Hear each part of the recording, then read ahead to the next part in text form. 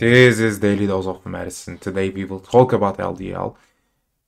Watch till the end to learn more about LDL. LDL is low density lipoprotein.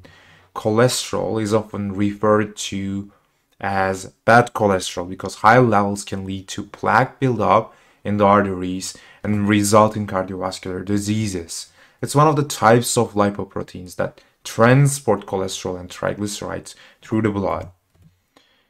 It's made up of cholesterol, proteins, and other lipids. It carries cholesterol to cells that need it for repair and the synthesis of hormones. However, excess LDL can deposit cholesterol in artery walls.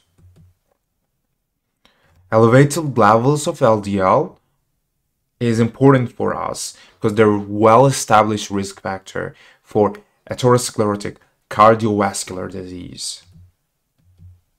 Normal LDL levels depending on guidelines and patients' risk profiles. The American College of Cardiology and the American Heart Association recommend an LDL target of less than 100 for most individuals, with more stringent targets less than 70 for those at high risk of atherosclerotic cardiovascular disease.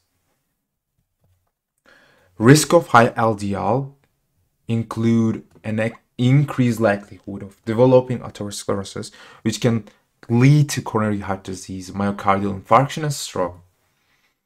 It's associated with a higher risk of cardiovascular mortality, even in individuals with a low 10 year risk of atherosclerotic cardiovascular disease.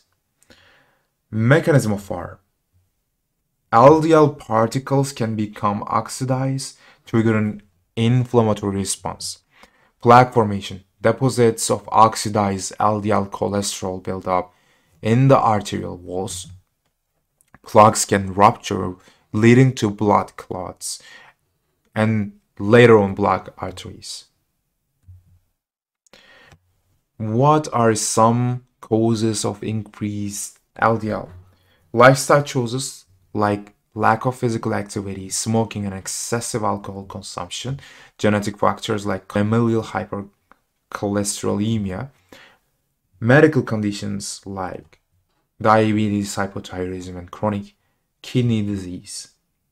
We have some medications to lower LDL, statins, which are most effective drugs for lowering LDL, PCSK9 inhibitors, which are monoclonal antibodies that lower LDL significantly. Ezetimibe reduces cholesterol absorption in the intestines. Bile acid sequestrants bind bile acids, forcing the body to use cholesterol to make more bile. Thank you so much for watching. Don't forget to recommend this video to your friends. Don't forget to subscribe to our channel and share this video with your friends. I'll see you on the next one.